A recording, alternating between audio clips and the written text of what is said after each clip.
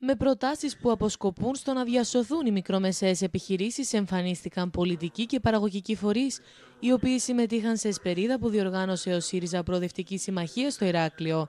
Όπως επισήμανε ο Νίκος Κορίνης, μέλος της πολιτικής γραμματείας του ΣΥΡΙΖΑ, οι προτάσεις αυτές αποτελούν συνέχεια των όσων ο ΣΥΡΙΖΑ δεν κατάφερε να κάνει, λόγω των μνημονίων και της Επιτροπίας μέχρι το 2019.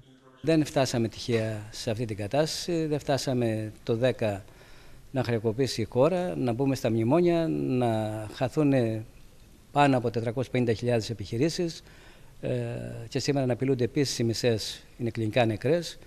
900.000 ε, εργαζόμενοι, να θυμίσω, χάσαν τη δουλειά τους σε 40 χρόνια και σήμερα με ΜΕΘ ουσιαστικά απέναντι στις μικρομεσαίες επιχειρήσεις και στην εργασία προσπαθούμε, προσπαθεί η κυβέρνηση να διατηρήσει μια πλαστή εικόνα. Δεν μπορούμε να κρυβόμαστε πια.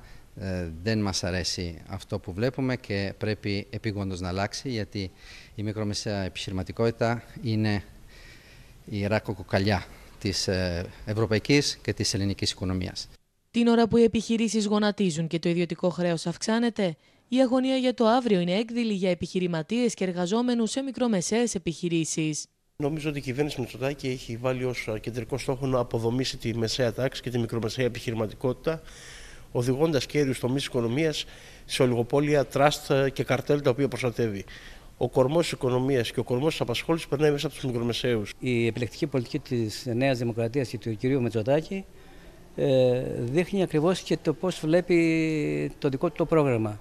Όπου το, από τα 110 δις, τα 67 τα χρωστάνε μόνο 1.300 αφημοί.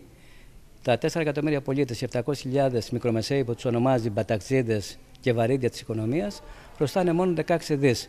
Επισημένοντας πως η κατάσταση έχει πάρει την κατηφόρα, εκπρόσωποι των φορέων που παρευρέθηκαν στην Εσπερίδα τονίζουν την ανάγκη να δοθούν λύσεις προκειμένου να μπει ένα τέλος στην αβεβαιότητα των πολιτών.